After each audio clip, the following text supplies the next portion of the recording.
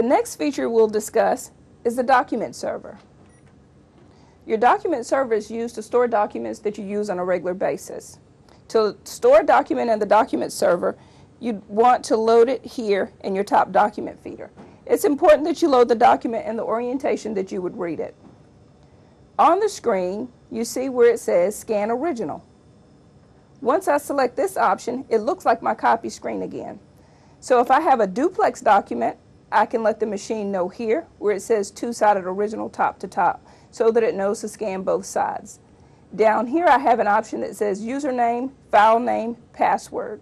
If this is a document that I'm using more than anyone else, I'll select username. I'll get my full-size keyboard so I can give the document my name. The next thing I want to do is select this option that says file name. Again, I'll get my full, full-size keyboard and here I have a generic password, a generic file name. I want to select delete all and then name this document.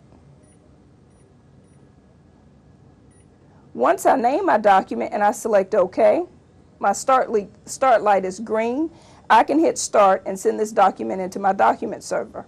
If this is a document no one else should have access to but me, I can select this option that says password and I can use my number keys to assign a password to that document and hit my start key.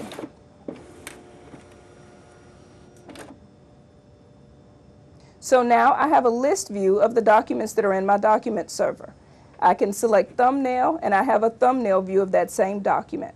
To print the document that's in the document server, I want to select the document, tell the machine how many copies I need, and then hit my start key. So now you don't have to worry about keeping up with your original because you have a copy of that original stored into your document server. To delete this document, you just select the document. Here you have an option that says delete file. It's not going to let you take out anything by mistake because it asks, are you sure? When you say yes, then it deletes the file from the memory. Anything that you store in the document server is here for the life of your device or until you delete that document.